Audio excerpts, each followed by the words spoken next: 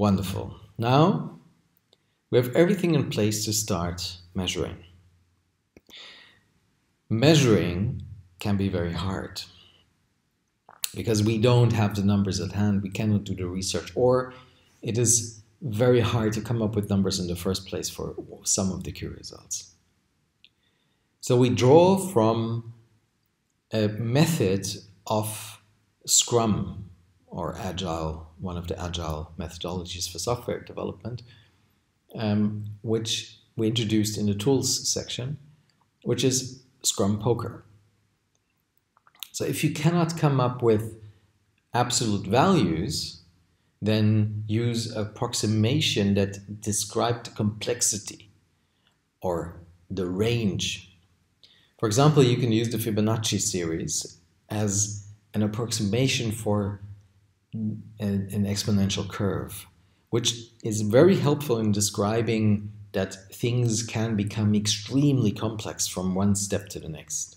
So the Fibonacci series starts with one, adds another one, and then it adds the last two numbers. So one and one are two, one and two are three, two and three, five, eight, 13, 21, and so on.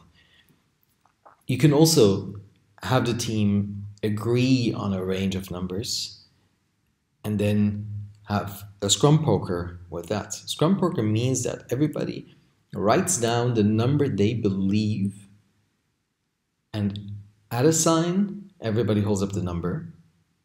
And then the person with the lowest number and the person with the highest number discuss in front of the group how they arrived at their estimation.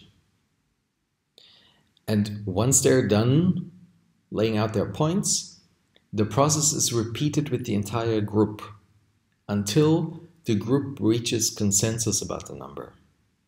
This might sound like a lot, but once the team has done it a couple of times, it becomes very quick. The result looks like this.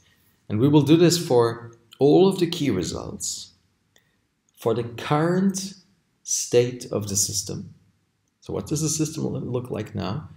And then for the future state of the system, how do we want these key results to change over time? What would be desired? This is, as the name says, the, the most crucial element in this process.